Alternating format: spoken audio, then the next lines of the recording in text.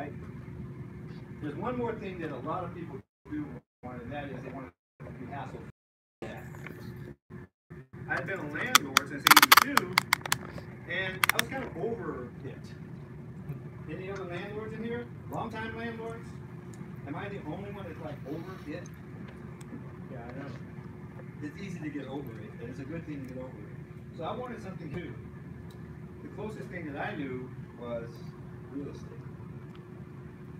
Here's what we're all looking for. The reason that we invest is this. We want financial freedom, which is the ability to sustain our lifestyle now and into the foreseeable future with passive income. I mean, that gives you freedom. If you can figure a way to get money coming in a month, coming in the door every month, mailbox money, that's how you get free. And so notes provide that. I'm going to show you. Here's the first thing we want to look for, safety. Safety is number one if you're putting out your money. And I think we can all agree on that. Who wants to invest a thousand dollars and get back nine hundred? Nine hundred. All right. I got an investment for you.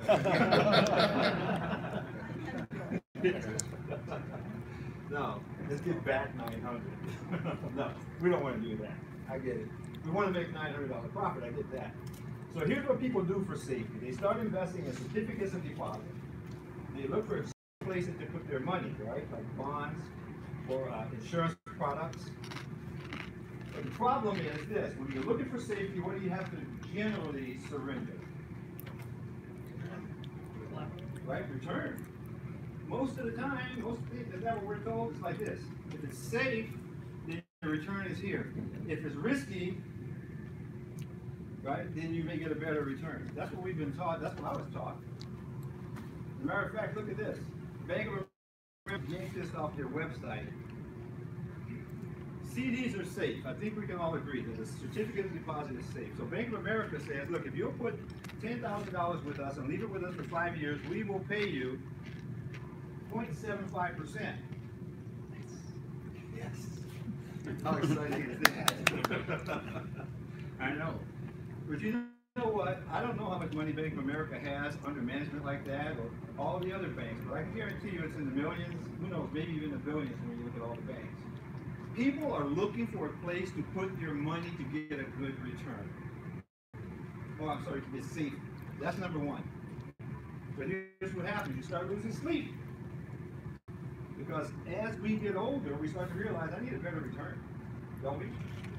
I mean, how long do you live with 0.75%? That's pitiful. They should get arrested for that. I'm serious. That's pitiful. That's what they're doing right now.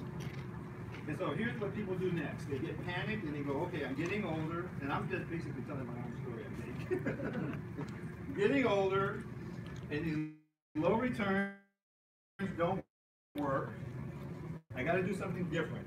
And so people turn to the stock market. While it may not be our first choice, what else are you going to do if you don't know? Am I right? Oh, yeah. Yeah. What else are you going to do? Here's the problem with the market. What's the one word that describes it? Volatile. Volatile. You don't even know what it's going to be.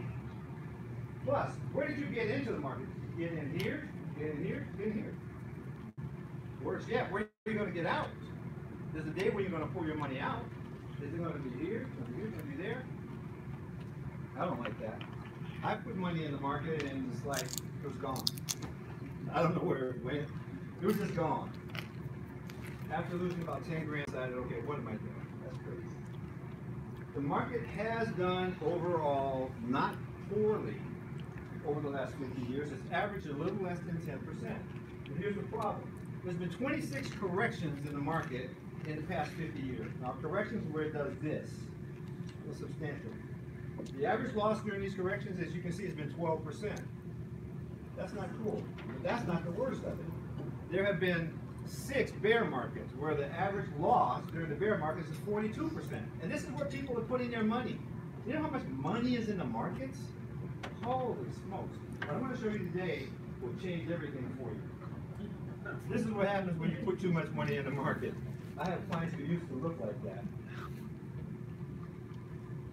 But people are also looking for income. That's the third thing. Now, for a lot of folks, they will forego income if they don't need it right now.